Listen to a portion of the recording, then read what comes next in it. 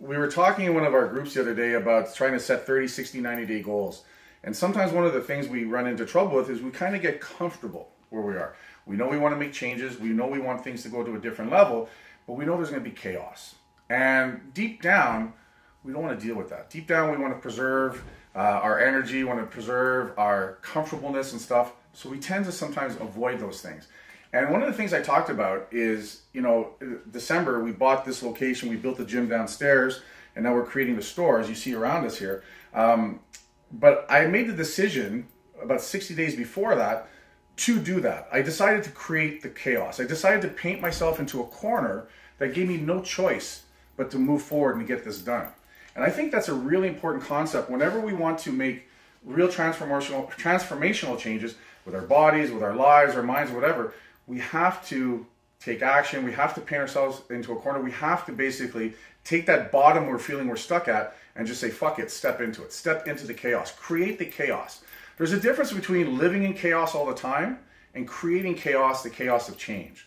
And, you know, I was just thought, Lewis and I were talking about what we're going to do for some content for you guys. And I said, I really want to talk about the chaos you know, all this stuff uh, up until a week and a half ago was in the basement of my house. The last two years, we spent printing our clothing, our brand, and stuff uh, out of the house, and got comfortable with it. But there was a point where I knew that we weren't going to grow to the next level, not to the level that I wanted things to get done.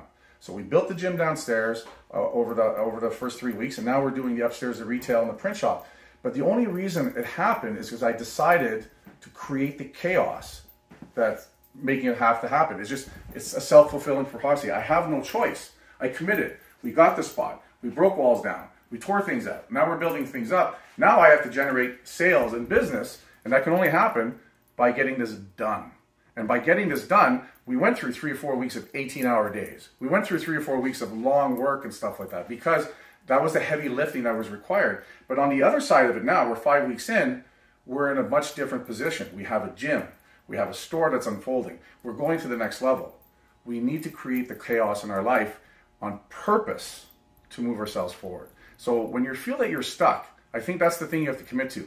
You have to understand that you're about to go to war, you're about to go to battle, you're creating some chaos. You painted yourself into that corner, so you have no choice but to move through it and get on the other side of it. Cortez had the thing where he burnt the boats when he landed in the New World, so that there was no going back. You had to move forward.